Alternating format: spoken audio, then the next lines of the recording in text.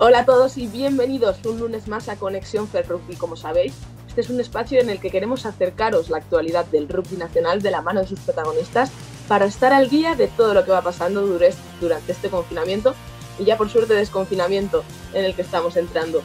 Ya hablamos con los protagonistas de la Liga Iberdrola y hoy es el turno de la división de masculina. Vamos a estar con Diego Merino, entrenador del TAC Quesos Entre Pinares, con Juan Carlos Pérez del Silverstone El Salvador y también con Tiki Inchausti, técnico del Lexus Alcobendas. Antes de nada, agradecer a todos nuestros patrocinadores por estar ahí, por apoyarnos, por hacer esto posible y muchísimas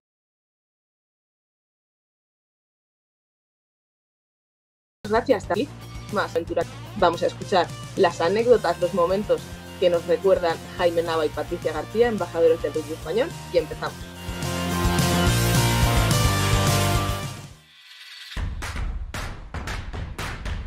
Una cosa es un balón y otra un balón de rugby. Una cosa es un barullo y otro una melé. Una cosa es marcar un punto y otra un ensayo. Una cosa es un polo y otra es un polo de rugby.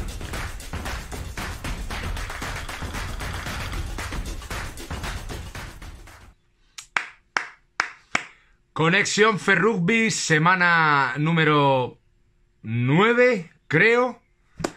Y Conexión Ferrugby es sinónimo de tiempo de anécdotas. Hoy estoy un poquito más, más contento, como podéis ver, porque en Madrid hemos pasado a la fase 1, con lo cual eso significa que vamos a poder empezar a hacer cosas ricas y a movernos un poquito más con algo más de libertad, siempre y cuando guardemos eh, respeto y un poquito de sentido común que durante estas semanas eh, creo que muchos no, no, lo estamos demostrando. ¿eh? En fin, bueno, anecdotita, historieta de la semana. El otro día leí un artículo con una entrevista a Mamuka Gorgoche acerca de su retirada ya definitiva del del rugby y, bueno, mm, me trajo muchos recuerdos, ¿no? Me puse a pensar mucho. Mamuka Gorgoche, qué pedazo de jugador, qué tío más bestia, qué tío más desagradable jugando. Su apodo era Gorgochila y efectivamente es uno de los mejores apodos que se le han podido poner a un jugador de rugby en, en, la historia. Y, y, bueno, y el otro día recordaba, me, acuerdo de un partido en el que, en el que jugábamos contra, contra Georgia en Madrid. Y, bueno, en los primeros compases del partido, pues eh, uno de los mejores jugadores con los que yo haya jugado, que éramos compañeros en los centros, Javier Canosa, uno de los placadores más duros que yo haya visto en España, en una jugada se le tiró a Mamuka Gorgoche a placar con esa, con esa, con esa perfección que tenía Javi, que se colocaba completamente recto, que colocaba las caderas, eh, los hombros, los, te los metía perfecto y te metía unos estacazos que te dejaba doblado. Os lo digo mm, por experiencia propia. Entonces, Javi, en una jugada a Mamuca, en Madrid, le, le fue a placar y, y le metió un castañazo Mamuca Gorgoche a Javi Canosa que yo le miré a Javi Canosa y le miré así de reojo y dije, dije, ostra, hostia, esta, eh, esta, eh, hoy, hoy va a ser complicado, Javi, hoy va a ser complicado. De hecho, yo creo que nos miramos varios de nosotros porque sabíamos de la capacidad que tenía Javi para, para, para aplacar a tíos, fueran quienes fueran, y tirarlos para atrás o pararlos en seco, pero no fue el caso de Mamuka Gorgoche. Y mm, y el otro día recordando, este no es el partido que quería, que quería compartir con vosotros, pero es que en el 2008 jugamos un auténtico partidazo contra la selección de Georgia que perdimos de dos puntos que estuvimos a punto, a punto de ganar, que la verdad es que nos salieron cosas bastante, bastante bien. Y ese partido, ese partido en concreto, también nos lo ganó, o sea, lo ganó, fue eh, Mamuka Orgoche 22, España 20, porque ese partido no lo ganó España porque a Mamuka Gorgoche no le dio la gana. Porque hizo de todo, nos metió dos ensayos, rompió la línea varias veces, se pegó una carrera, recuerdo que se pegó una carrera de como de 40 50 metros que hasta Pablo Fijo, que era uno de los jugadores más rápidos que teníamos en el equipo, le costó cogerle. Corría como un gamo el tío. Era increíble. Y en ese partido, la anécdota graciosa es que yo le he visto, yo he visto en ese partido algo que no lo he visto en mi vida. Mamuka Gorgoche en una jugada le placa a César Sempere, se queda de pie con él, empieza a forcejear con él el balón para arrancárselo, se lo arranca, pero es que le arranca el balón con la camiseta de César Sempere envolviendo el balón. Con lo cual, César Sempere se queda en medio del campo en el estadio de Tbilisi medio en pelotas y Mamuka Gorgoche empieza a correr con el balón envuelto en la camiseta, eh, direcciona el ensayo y, mientras Mamuka Gorgoche intenta, intenta quitar la camiseta o desenvolver el balón de la camiseta, eh, sigue corriendo mientras, mientras él, él, él, manipula el balón, la camiseta y nosotros intentando placarle, no le tiramos al suelo. Total, que incluso consigue pasar el balón con la camiseta envuelta a un compañero que al final luego ya sí, como ya les quedaban dos, dos, dos o tres apoyos, pues al final quitan la camiseta del balón y creo que terminan ensayando. Pero aquella imagen fue de lo más... De lo, fue muy divertida, pero, pero yo no, yo no he visto eso nunca en un, en un campo de rugby. Os invito, os invito a que lo, a que lo investiguéis, a que lo veáis en las, en las bibliotecas, en las hemerotecas, porque fue un momento muy, muy divertido. Y, bueno, pues una de esas tantas acciones que, que, nos hizo Mamuka Gorgoche, gran jugador, eh, una bestia parda. En fin, bueno, hasta la semana que viene con, con más historietas de, del abuelo cebolleta, de los abuelos cebolletas. Cuidaros mucho.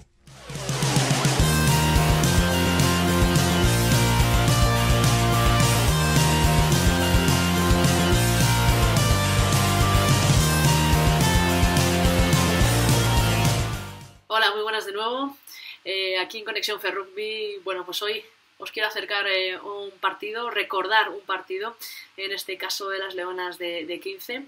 Y he decidido un partido en el cual no jugamos bien y además perdimos. Eh, ¿Cuál es un poco el, motivo entonces por el cual os comparta este partido a recordar? Y es que yo creo que también esos, partidos no deben ser para olvidar. no debe ser, bueno, ha sido un mal partido, lo olvidamos y ya está. No, al contrario, tiene que salir para, tiene que servir para para aprender, tiene que servir para crecer, tiene que servir para analizarlo y para que constructivamente eh, ver cada una de las situaciones en las cuales no hemos estado acertadas, eh, no hemos estado acertados en, el juego y a través de ese error, a través de ese error, a través de ese eh, momento en el cual no hemos sabido resolver la situación, no hemos sabido implementar el plan de juego adecuadamente, o no hemos estado acertadas en, en un gesto técnico o incluso en una decisión táctica importante, pues yo creo que se ese partido puede ser perfectamente eh, hace poco, en este pasado eh, enero contra Escocia, que, pudimos jugar eh, aquí en España. Y, es un partido muy duro, que la verdad es que es duro de volver a verlo porque parece que no te sientes identificado con, el juego, pero como digo, es un partido que a recordar, es un partido a ver y es un partido para, para, para, poder sentir lo que no queremos volver a ser, ¿no? Para no, lo que no queremos volver a jugar. Y de que esos errores y que eh, de que esos errores y de que esos fallos nazcan oportunidades de aprendizaje, como digo, porque es solamente en ese camino es donde se construye y se aprende y se crece, ¿no? Se sale de los momentos difíciles, duros, esa resiliencia y esa superación de la que hablamos, yo creo que se trabaja con actitud en, en estos momentos y hoy me he atrevido a compartiros ese este, este recuerdo para, para, para, compartiros de que no todos los partidos han sido, por supuesto, perfectos. No solamente hay grandes momentos a, recordar en el sentido positivo, sino también hay grandes momentos a, recordar para, para hacernos eh, mejores como equipo, mejores como colectivo y, y sacar grandes lecciones de aprendizaje para las leonas.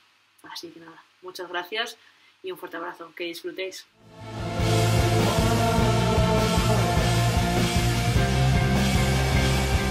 Iberdrola, impulsor oficial de la mujer en el deporte.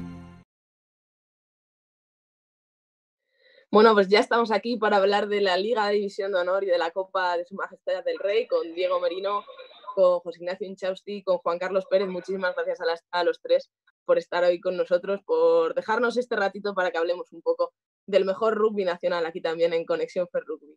Eh, lo primero, quería preguntaros a los tres, eh, ¿cómo estáis? ¿Cómo estáis llevando esta escalada, ya desescalada? ¿Qué estáis haciendo un poco con los equipos? Porque entiendo que es una situación que ninguno conocemos y que quizás es un poquito complicada de llevar. Sí, si empiezo yo, sí, bueno, bien, lo más que podemos, en un entrenamiento a la semana, eh, bueno, más de charla y de preguntar y de hacer cosas en, en grupos, eh, más divertido que algo técnico, y por las mañanas, bueno, tienen un entrenamiento físico con, con Mar en el que se conectan los que, los que pueden y poco más, esperando un poco a, a, ver si podemos hacer más cosas, porque aquí en Valladolid todavía estamos en, en la fase cero. Sí, bueno, por, por Madrid muy parecido, ¿no? Lo que contaba Juan Carlos. Nosotros, el preparador físico le ha querido dar un rollito más de, de rollo de superhéroes, ¿no? Por la, por la, situación que teníamos y tal, y ha mandado cada plan, era un superhéroe y, y se conectaban, como dice Juan Carlos, se conectaban y, y, hacen los trabajos a distancia y esperando a ver si pasamos todos de fase y podemos por lo menos, por lo menos vernos, aunque sea un poco a distancia, pero por lo menos vernos y empezar a entrenar. Nada, nosotros más o menos igual. El preparador físico ha estado mandando trabajo todas estas semanas para que lo hiciesen individualmente los jugadores cada día. Y luego sí que una o dos veces a la semana por videollamadas pues han hecho sesiones conjuntas, pues más que nada para vernos las caras y que sea un poquito más entretenido. Pero bueno, todavía no podemos quedar, estamos en fase cero y, y de momento pues lo estamos intentando llevar lo mejor posible. Bueno, Diego, eh, lo primero darte la enhorabuena por el título. Supongo que quizás es un título un poquito agridulce, eh, porque aunque es verdad que terminasteis en primer lugar en la fase regular, todavía quedaban cinco jornadas por disputar y al final, pues los títulos lo que gusta es ganarnos en el campo, ¿no? Supongo. Sí, no, una medio alegría. Al final es todo muy descafeinado. El, hecho de ganarlo en el campo, eh, con público, poderlo celebrar después, estar con la gente con la que se está trabajando durante toda la temporada duramente, pues, pues te da un poquito más. Y ganarlo así, pues al final te enteras un, un día por la noche, es como ya, no tienes nadie con quien celebrarlo y, y se acabó. No, bueno, descafeinado sí que nos hubiese gustado jugar y bueno, si hubiésemos podido terminar la competición, pues hombre, estaría muchísimo mejor y mucho más bonito. Bueno, Juan Carlos, eh, quedaban jornadas muy interesantes. Eh, a vosotros exactamente os quedaba jugar contra las dos personas que están aquí, os quedaba el Lexus Alcobendas eh, en la jornada 19, si no recuerdo mal, y luego también pues ese derby Soletano, que es uno de los que más nos gusta a todos, en la jornada 21. Eh, ¿Os habéis quedado con ganas? ¿Veíais que podíais optar al título? Cuéntanos un poco cómo ha sido este final. Bueno, yo creo que todos los que estábamos en, en posiciones de playoff eh, optan al título. Creo que había equipos muy fuertes y quedaba mucho, quedaba mucho, mucho que hacer, muchas cosas importantes, muchos partidos muy duros y, y estaba todo por ver. Pero bueno, yo creo que había que tomar una decisión y se tomó, pero bueno, duro sobre todo por no jugar, que es lo que nos gusta, no por porque haya ganado uno u otro, sobre todo porque nos ha parado algo que, que, es nuestra vida, que es nuestra pasión, que es jugar, pero, pero, bueno, yo creo que hay que adaptarse y es verdad que si nos ponemos a pensar un poco en el pasado eh, es más triste, así que ya yo estoy ya solo mirando la temporada que viene e intentar mirar hacia adelante porque mirar hacia atrás de poco vale ya. Tiki, vosotros también lleváis una temporada muy buena, habéis tenido también buenos fichajes, eh, también nos quedaban algunos rivales duros como el Chami y el Barça, que también estaba haciendo una muy buena temporada.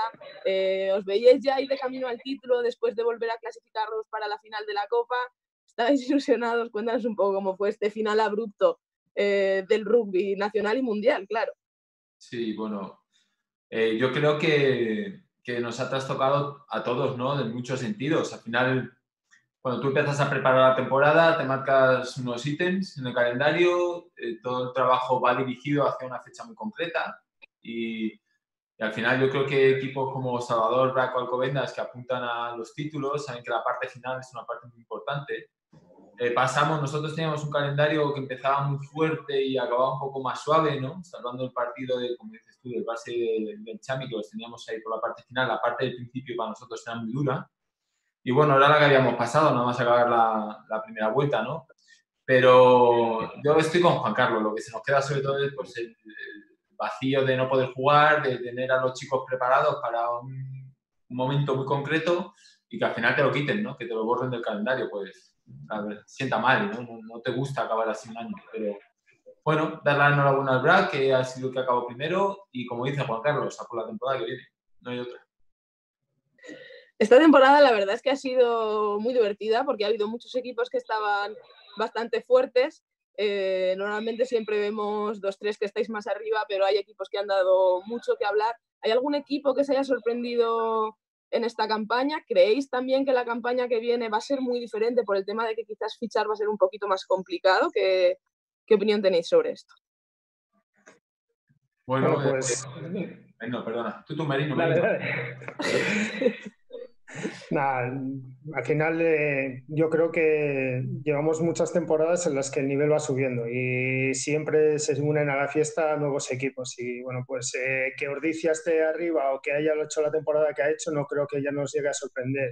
Es más, eh, creo que siempre da un pasito más hacia adelante.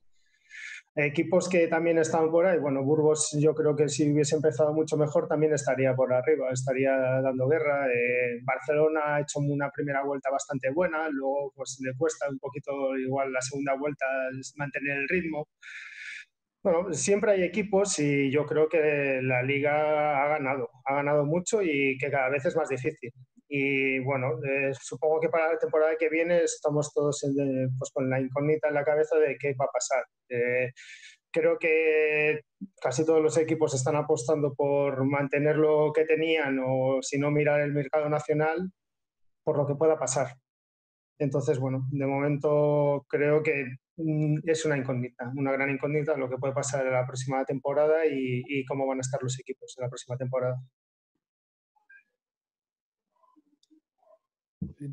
Bueno, yo eh, igual, yo creo que, como dice Diego, Ordicia ya no es una sorpresa, ¿no? Yo creo que ha hecho muchas cosas bien, ha partido, a lo mejor es verdad que las temporadas se le hacían un poco largas, pero el año pasado llegó muy bien, ganó los cuartos de final en, al, al, Burgos en un partido increíble, a nosotros en Valladolid, bueno, estuvo a punto de, de ganarnos, bueno, hay, hay cosas que está haciendo Ordicia pasos para, para, ir a por los títulos y eso sobre todo es tener fondo de armario. Yo creo que las ligas son tan largas en España, son 10 meses jugando que al final eh, necesitas ese fondo, ese fondo de armario. Yo creo que eso Ordicia lo está haciendo y luego es verdad que yo creo que el nivel está subiendo, cada vez cuesta más, cada, ganar fuera de casa es complicadísimo, eh, suben equipos eh, muy muy reforzados como subió Vasco este año, eh, Guecho también es un equipo y un club eh, sobre todo muy, muy potente para el año que viene. Yo creo que eh, la liga va subiendo y lo del año que viene pues es todo incertidumbre y eso es un poco lo que más nos preocupa, ¿no?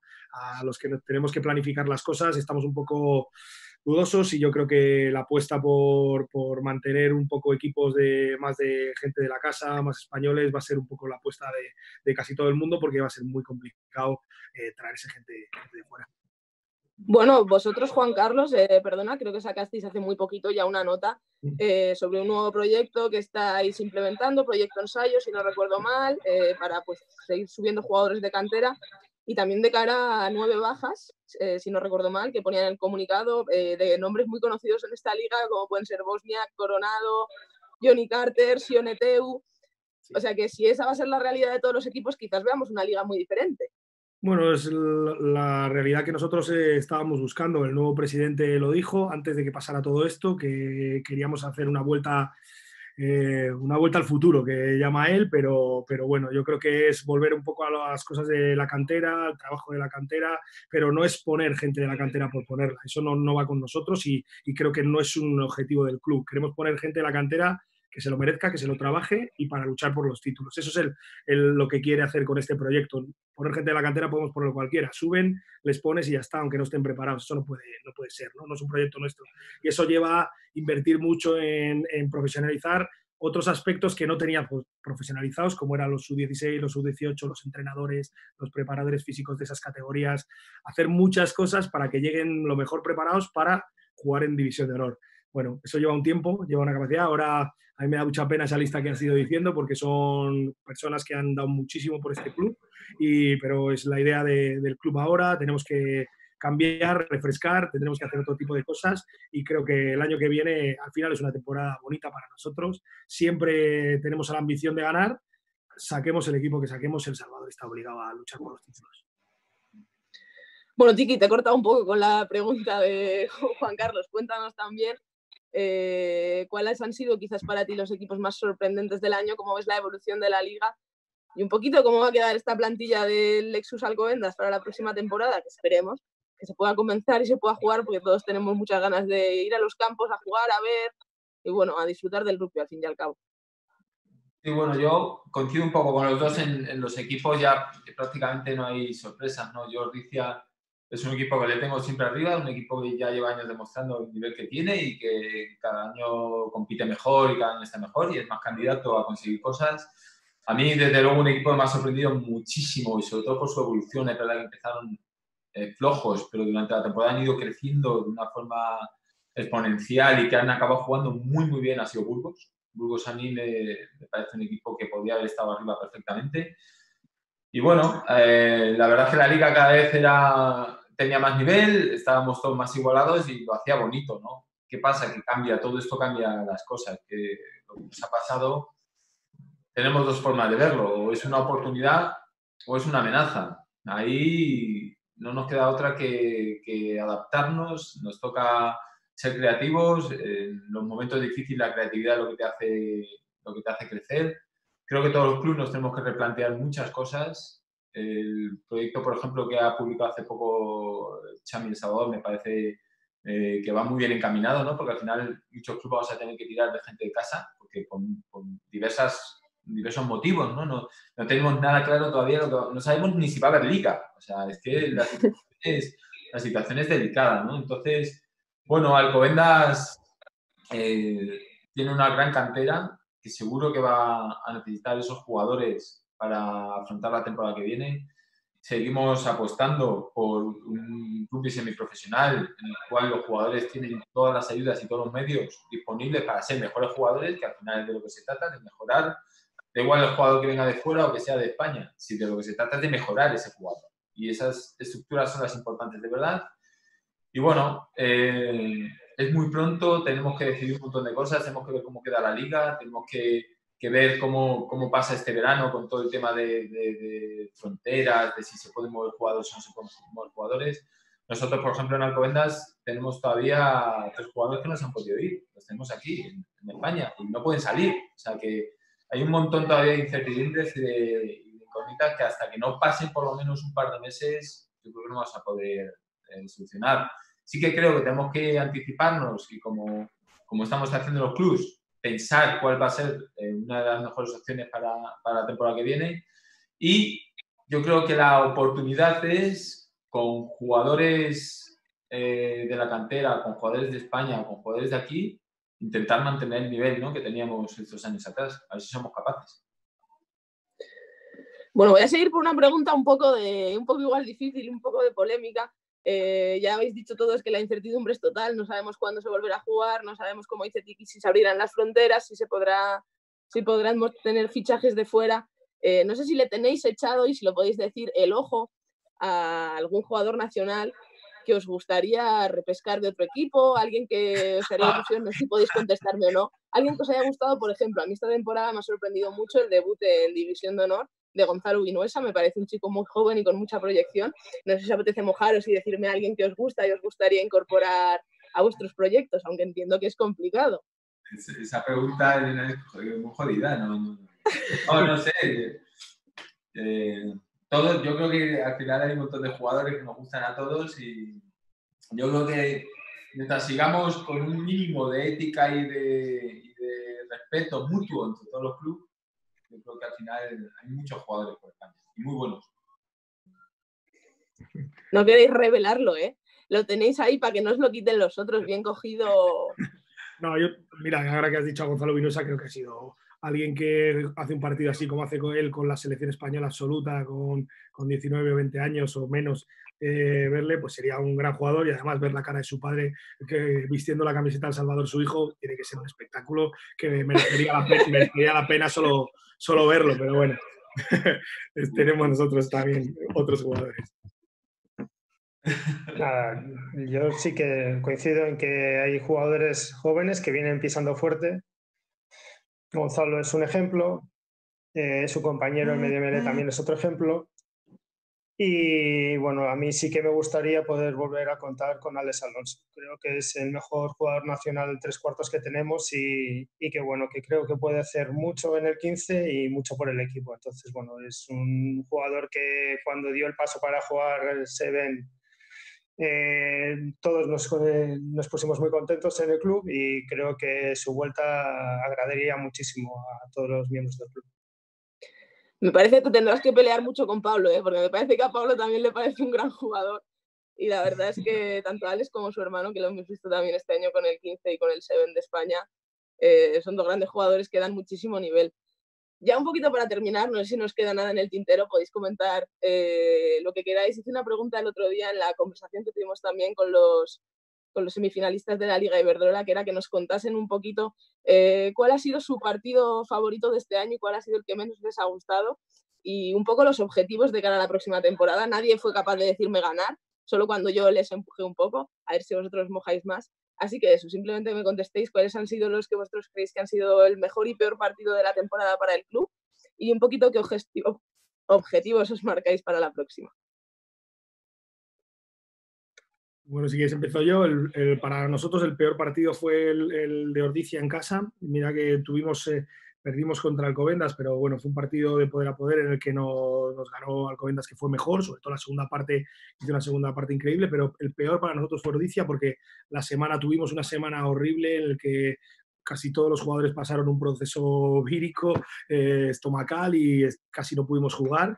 Y bueno, ganamos de, ganamos de milagro, pero, pero lo pasaron muy mal los chicos y eso nos, nos restó mucho. Fue una semana muy, muy dura para nosotros. Y bueno, el mejor partido, yo creo que uno de los que, mejores partidos que hemos hecho ha sido el Samboy, que sobre todo por el sitio eh, donde es, que es muy difícil ganar, y ganamos con solvencia, hicimos el bonus, y yo creo que hicimos un rugby que nos estaba empezando a, gustar a todos jugarle, entrenarle y yo creo que era un poco eh, hacerlo en un sitio especial como es el Valdiri y, yo creo que ese ha sido nuestro mejor partido, que encima ha sido de los últimos. Y el objetivo para la próxima temporada, Juan Carlos, tú eres muy competitivo, dime ganar. Sí, sí, sí. Bueno, nosotros eh, ganar es, complicado, pero vamos a luchar por, por, ganar, eso lo tengo claro. Nosotros eh, es muy importante el cómo. El cómo para nosotros, el cómo ganar, tiene que ser también lo más importante y lo que decía Tiki, el objetivo es mejorar. Ya venga cualquier jugador, los nuestros, los de fuera y nosotros mismos, yo como primero como entrenador, es un reto diario el ser mejor, el intentar ser mejor y ese va a ser el reto del año que viene, intentar ser mejor y que ese intento de ser mejor nos haga que ganemos la liga, la copa o, bueno, o empezar con, la, la, copa del año pasado, eso me daría mucha alegría, aunque a tanto. Pues verdad, todavía nos queda la copa, a ver si se puede celebrar finalmente en Zamora, además lo tenéis cerquita de casa. Esperamos que se pueda celebrar cuanto antes porque nos han quedado, la verdad, bastantes competiciones por cerrar. Eh, Tiki, Diego, ¿quién quiere seguir? ¿Quién se anima? Bueno, si quieres yo. Eh, creo que el, partido que más me, más me gustó ganar esta temporada creo que fue el partido en casa de Hernán. Creo que otras temporadas sí que estamos acostumbrados a jugar más partidos en campos pues en las condiciones eh, como las que puede estar el campo de Hernani y la meteorología de Hernani.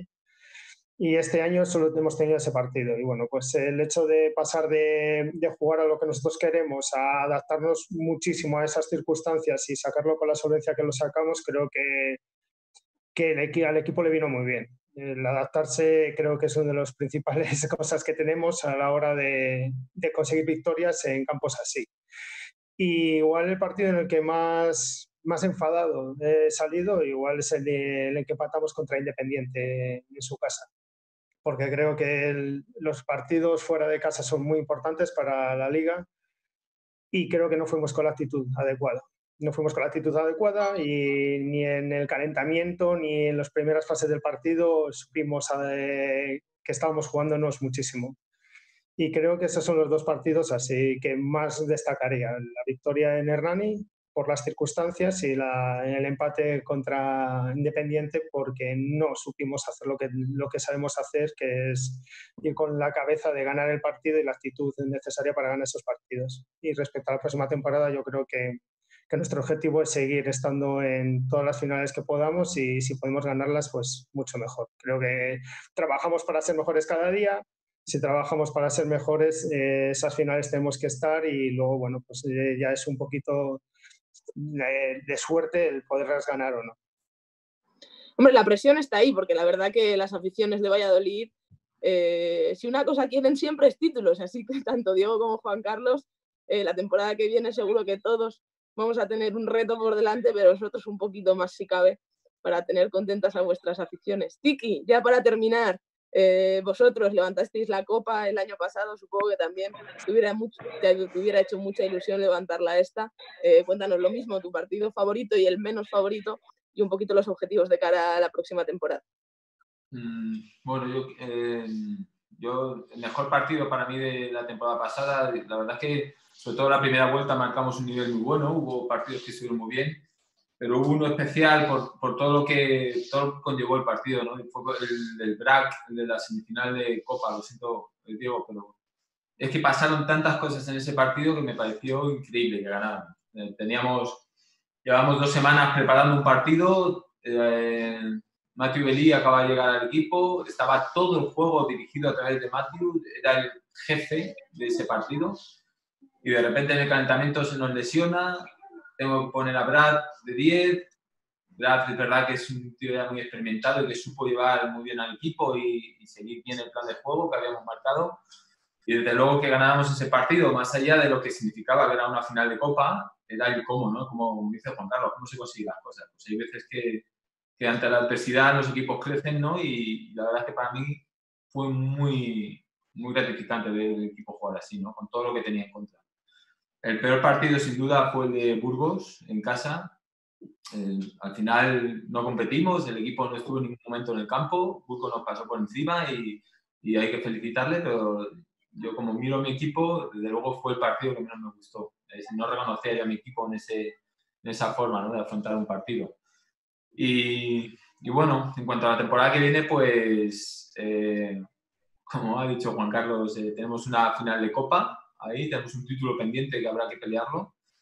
Y sobre todo reinventarnos como club, intentar seguir manteniendo el máximo nivel que podamos, eh, ayudar a, que, a el equipo siga compitiendo y siga estando más arriba que seamos capaces de, de estar.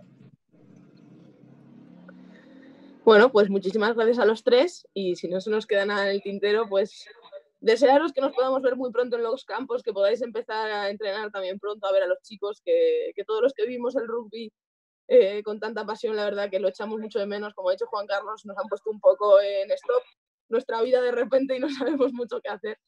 Pero bueno, esperemos que prontito nos dejen volver eso, a pisar el césped, que es lo que nos gusta. Agradeceros muchísimo a los tres, eh, darnos este tiempecito y mucha suerte para lo que queda de esta y lo que venga en la próxima. Un abrazo. Muchas gracias a vosotros.